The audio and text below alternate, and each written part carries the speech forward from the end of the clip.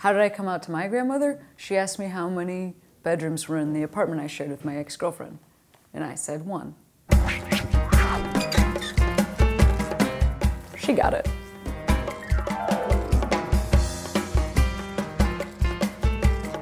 Is your family accepting of having your wife visit for the holidays?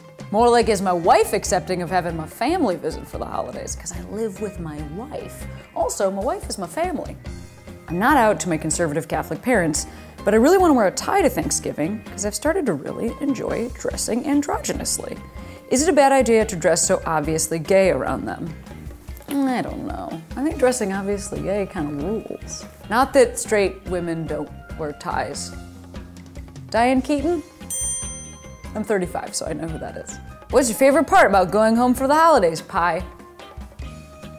I came out as trans around this time last year. Oh, hey, congrats.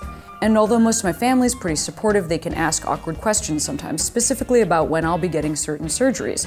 How can I let them know this is not their business without bringing down the mood? Boo! That's to them, not you. Listen, that's your bod. And I assume you don't ask, like, whoever this is, cousins, uncles, your mom and dad, about, like, their bod. Well, I don't know your family. If you draw a line in the sand because they're making you uncomfortable, you are protecting your mental and emotional safety. And that's not bringing down the mood. What do you say when you're a lesbian, but your family keeps asking why you don't have a boyfriend? Distraction. Bring up a different topic, something like Obamacare. Let them debate.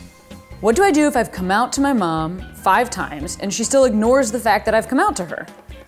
At this point, you just have to proceed as if she already knows, because she already knows. She's pretending she doesn't, but she knows. Just talk to her like you normally would about your life. I'm gay and I have family members who voted for Trump. How do I not go insane? Well, nothing brings joy to the holidays like a really stressful and nearly devastating election. So, what do we do now?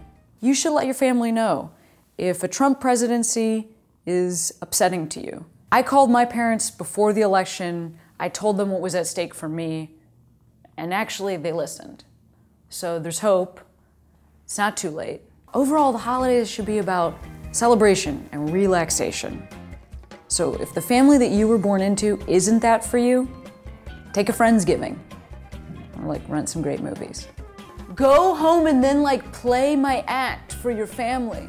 Play this video. Play this video for your family.